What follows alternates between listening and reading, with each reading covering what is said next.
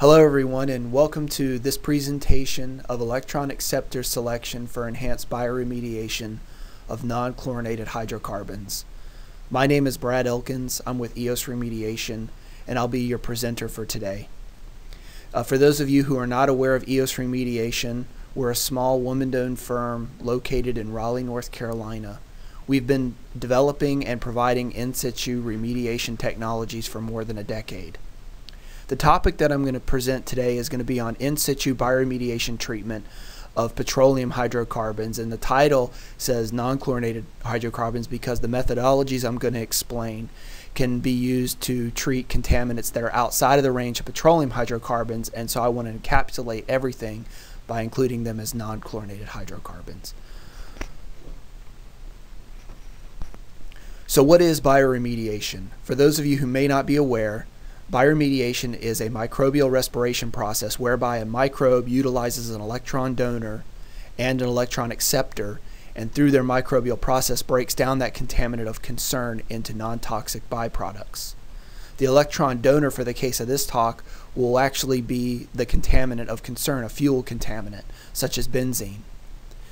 If this was a chlorinated solvent case, the electron donor would actually be a limiting factor and would need to be something you would add to the system. But for fuel contaminants, it's the electron acceptor that is limited. Here I've listed several very common ones sulfate, oxygen, nitrate, and iron. And the debate is really for your site which of these electron acceptors is most appropriate to add to the system to um, promote biodegradation of your contaminants. And so that's what I'm going to cover in these next few slides. So here is a cross section of a hypothetical aquifer. And what I'm going to do here is I'm going to play a little animation for you that's going to be an introduction of a contaminant. And this could be a petroleum contaminant from a UST. Once the contamination is introduced into the subsurface, aerobic respiration is going to dominate. And as the plume migrates and ages, the interior of the plume is going to become gradually more and more reducing to a state where it is in methanogenesis. It's important to understand where in this redox ladder your site is. The best way to do that is to collect a sample of groundwater somewhere up gradient of the spill that has historically never had contamination. And then do the same thing in the heart of the plume and maybe even on the leading edge of the plume so that way you can gauge um, the varying redox state of the plume. And so that way you can address the contamination with the appropriate electron acceptor. As an example, if your site was in nitrate reducing, adding something like sulfate to the system would not be an effective method, as sulfate reducing state is not uh, the current uh, redox state of the site, and therefore uh, sulfate reducing bacteria would not be active and would not make any use of the sulfate you added to the system. So how much electron acceptor do you need? Wiedemeier did some great work back in 99. And here I've tabulated uh, some of his results and his theoretical work that he did. The two columns, um, you've got the first column there in the middle that says average mass ratio of electron acceptor to total BTEX. And so here you can just see by taking the complete mineralization of toluene, assuming everything goes to completion and you get the mineralization to carbon dioxide and water, it takes 3.13 mass units to one mass unit of BTEX to get destruction. If you like to work on the inverse of that, that's the second table where we're looking at the mass units of BTEX degraded per mass unit of electron acceptor. And so it would be one mass unit of oxygen degrades 0.32 mass units of BTEX. And then this just continues on down looking at an example of nitrate and sulfate. So you can see that you actually need a lot less oxygen to address the contamination as you would for nitrate or sulfate. So how do you apply an electron acceptor to your site? Uh, if you've determined that bioremediation is the best methodology for your site, uh, obviously one of the questions that you're going to have is how do I how do I install this material? How do I inject it? I'm going to speak to our two products, EAS, which is our sulfate product, and EOX, which is our oxygen releasing product. EAS actually comes as a ready to inject solution. You do not need to dilute that product. You do not need to mix it with any additional water. you would essentially arrive on site and then you would have an injection trailer like that yellow trailer on the photograph. Your drum would be that little uh, drum inside the trailer, that would be your EAS. And you would just hook up a drum pump or some type of pump that could then take that material and introduce it down into an injection location. That injection location could be a temporary monitoring well, it could be a permanent monitoring well, and in some cases you could also add it to existing SVE piping or to an open excavation prior to backfill. The same thing is true of EOX, except for EOX is supplied as a powder that would need to be diluted with water prior to injection. Common ratios of water to product typically range between 4 to 1 to 10 to 1. But once it's diluted, the injection process is exactly the same. You would pump it out of whatever container you had mixed it with water down into your various lo injection locations. EOX actually has a very um, ideal application for excavations because it is a powder. It can be easily applied to an open excavation prior to backfill. All you would need to do in that case is just hydrate the product before applying your backfill. And that would activate the product and begin the oxygen releasing process. Let's uh, jump into our first case study that shows when you properly assess your site and really take into consideration these electronic acceptors and which one is right for your site, you can get site closure and get good results. So the first one here is a former gas station site that was impacted with BTEX. As you can see from the photograph there, the former UST basin is actually now the median of a highway in North Carolina.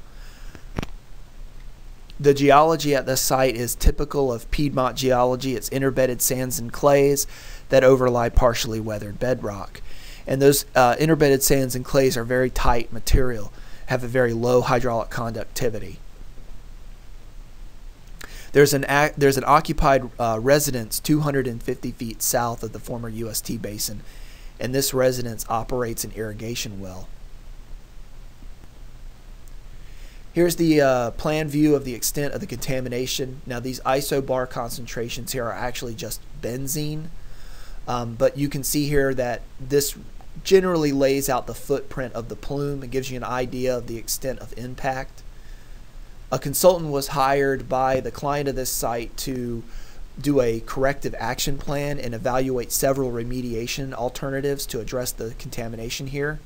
They looked at EAS, which is our sulfate reducing product. They looked at an ISCO agent, and then they also looked at soil vapor extraction and air sparge. There were uh, certain things they looked at, uh, but at the end of the day, they came up with these conclusions. They saw that they found out that uh, ISCO was going to be the fastest methodology to get site closure. However, because the site is in the middle of a median and there's an occupied residence nearby, there were some health and safety concerns with mixing a strong oxidant on site. And also the oxidants that they were looking at, the reagents themselves were very expensive. EAS would require multiple injections, However, it took advantage of the prevailing aquifer conditions and was extremely easy to use in the field as it didn't require extra mi mixing tanks, extra water on site. SVE air sparge was calculated to take eight years of operation, but that would be limited extraction due to the heterogeneous nature and tight geology of the site. When you take into account all of the costs analytical, reporting, implementation, permitting, everything to get the site to closure ISCO and soil vapor extraction were well over half a million dollars, whereas EAS was right under half a million dollars. And it was because of this um, corrective action plan that the ch client chose to use EAS.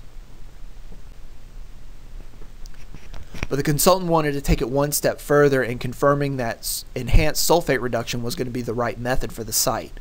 So what they did is they collected several samples, both up gradient and within the heart of the plume, they monitored for things like pH, ORP, DO, and most importantly, sulfate. And as you can see from the table here, the upgradient non-historically contaminated wells had an elevated sulfate compared to wells that were sampled within the plume within the impacted area, showing that sulfate was depleted and being utilized by sulfate reducing bacteria in the area. Beyond that, they wanted to make sure that they had a sufficient microbial population to support bioremediation during the life of the project. And so they sent samples to a lab called Microbial Insights, and they did a census using qPCR. And that was able to give them a concentration of cell population at the site. And you can see from that second bullet on the slide that they had a sulfate reducing population of 10 to the 4 cells per mil. So now let's talk about the actual pilot test. You can see here our map that shows the uh, plan view of the site again. Our isobar concentrations show the footprint of the extent of contamination. And the little blue square in there, that's the pilot study area. Within that, you can see a little blown up uh, window view there that shows the installation of one injection well and three down gradient monitoring wells. Those wells are positioned 3, 5, and 10 feet respectively down gradient from the injection well. This pilot test was done in June of 2012, and post injection, they did four performance monitoring events that were spaced 60 to 90 days apart. They injected only one drum of EAS, that's into the PIW1 injection well. They did that at a, a uh, gravity feed method and got half a gallon per minute. Again, they did not need to dilute that product or chase it with any additional water. And as you can see from the blue uh, little window view there, this shows their radius of influence they got. This is sulfate concentration in parts per million. And you can see that they got a thousand parts per million of sulfate three feet down gradient from the injection location and as much as 100 parts per million of sulfate five feet down gradient from the injection well. And they knew somewhere in between uh, PMW2 and PMW3 was going to be the limit of the sulfate uh, concentrations. And so they estimated that they got about seven and a half feet radius of influence from that single injection point, injecting a single drum of EAS with no additional chase water. I think this speaks very highly to the mobility of the product in a very tight formation that just 55 gallons of material was able to achieve over a 5 foot radius influence. So here's the performance data. This is after six months of monitoring at the site. You can see that the injection well, which is the blue line on the graph, showed very positive results, showing a, very dramatic decrease in total BTEX concentrations. The other wells, the performance wells on site, showed little variability in concentration. However, the consultant interpreted this data as a matrix diffusion problem. Whereas as they were destroying dissolved contamination, which is clearly what they were doing based on the results from the injection well, they were getting back diffusion of contaminants from the aquifer material back into the dissolve phase. And so it makes it look like the data is not doing very much. But in reality, they're destroying a, a, large amount of contamination. When they actually went through and calculated based on the raw data, they were getting about 75% destruction of BTEX at the site. This pilot test clearly demonstrated that the right electron acceptor was sulfate and that applying that sulfate electron acceptor stimulated bacteria in the area and they were able to see a decrease of BTEX in the impacted area. Again, they saw as much as 75% BTEX uh, concentrations degraded within the injection area. And because of the results of this project, the client wanted to move forward with full scale implementation, and that project will uh, actually happen later in 2014. I will say that this is a pilot study with just one drum and that it would have been a recommendation to continue to add sulfate to this system to promote degradation and keep it going. But because this was just a pilot study, uh, only that single drum was applied. Our second case study is actually going to be a, a gas station site in Taiwan. The geology here is silty sands with a very low K, about one feet per day. The groundwater flow is to the southeast, and the water is in, is encountered at uh, five feet below grade. You can see here on the right hand side of the slide, this is a plan view of the site. Um, the pump islands are going to be those two kind of squares in the middle, and up in the upper left hand corner of the map, you see the UST um, basin and that's where our contamination is located. They collected soil samples right at the capillary fringe, right at the top of the water table, and they saw that their TPH, GRO, and DRO were fairly elevated. And it was really the DRO that was the driving factor to do something about this site because that was measured at being over 2,000 parts per million. And the cleanup standard in Taiwan for DRO contamination is 1,000 parts per million. Again, this is an active gas station, so they had to be careful about the remediation alternative they were going to use. After evaluation, they selected oxygen as the electron acceptor, mainly because of the type of contamination they were dealing with, being diesel ranged organics. Uh, sulfate or an anaerobic pathway wasn't the preferred methodology. And also, they liked using the EOX material because they could apply it easily via geoprobe direct push points without disrupting the active gas station operation. They did two rounds of injection, one in April and one in September, and at each injection event, they injected at two points, installing one drum of EOX at each point. I believe they diluted the EOX to 10 to 1 uh, prior to injection. You can see here in the two pictures on the right hand side the injection setup. You see they've just got the little uh, direct push points with their hoses and everything hooked up to it right at the manifold. So that way they're able to inject their EOX slurry and then pull those rods out and um, cover up the hole so like they were never even there. So after they did their second injection event, they went out and did a subsequent monitoring event in December of 2009. Uh, on the map here, you can see the locations of both the injection locations, which are going to be the red and blue squares labeled E1 through 4. And then the sampling locations are going to be the yellow and purple uh, dots on the map. Those are going to be SO1, uh, SO2 in yellow, and then SO1 through SO5 in purple. The analysis they performed on these samples were going to be for TPH, both gasoline ranged and diesel ranged organics, and then they also tested for BTEX just to make sure that there wasn't any new type of contamination that had popped up over time. So here's the results of the of that uh, remediation effort. Uh, you can see that the BTEX, which had historically never been detected at the site, um, was still non-detect even after treatment. Um, the real success here is if you look on the right hand side of the graph, you can see that the TPHG, which is the gasoline range, and TPHD, which is the diesel range, both showed non-detect. Now remember that the site started with over 2,000 parts per million of DRO contamination, and that within under a year, of using the correct electron acceptor, in this case oxygen, they were able to not only achieve a non-detect uh, readout on their analytical report, but they also got the site to closure. This site has been closed out.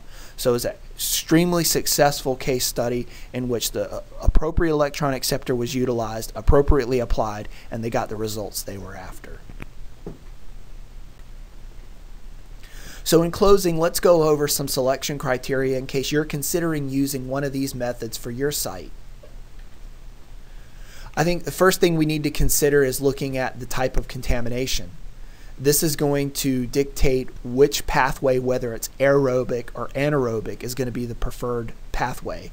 If you have polycyclic aromatic hydrocarbons, if you have diesel ranged organics, if you have very high carbon chain molecules like creosote, um, an aerobic pathway is really going to be the only way you can go, at least the way the literature is suggesting it now. Um, I know that there's, I think there's some people out there doing work right now that would suggest that in some of these cases, an anaerobic pathway could be utilized, but I don't know that there is strong evidence for that at this point. If your contamination is GRO or MTBE or any gasoline ranged organics, your options are a little more open. You could either go an aerobic or an anaerobic pathway based on the redox state of your site. And that brings me into my second criteria. Knowing where you are on that redox ladder is going to be highly important in selecting the appropriate electron acceptor to address your contamination. Finally, you need to look at your strategy. Are you going to be excavating, backfilling a UST? Are you trying to maybe stop or control plume migration from going off site or discharging into a nearby stream, river, or lake?